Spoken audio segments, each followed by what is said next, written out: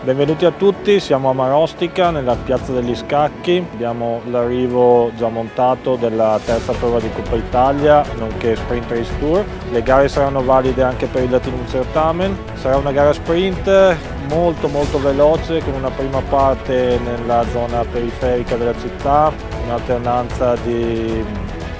urbano e parchetti per poi entrare dentro la cinta muraria della città dove ci saranno direi gli ultimi 3-4 minuti di gara, un pochino più di dislivello ma comunque niente di, di particolare, non accentuato, decisamente spettacolare nella parte finale. Abbiamo un Riccardo Scalet tra i, tra i ragazzi che può, può, fare molto bene in questo tipo di, di, terreno, anche Giacomo Zagonel. Tra le donne mancherà, mancherà Lia Patscheider e quindi direi che il, il pronostico è molto molto aperto lì.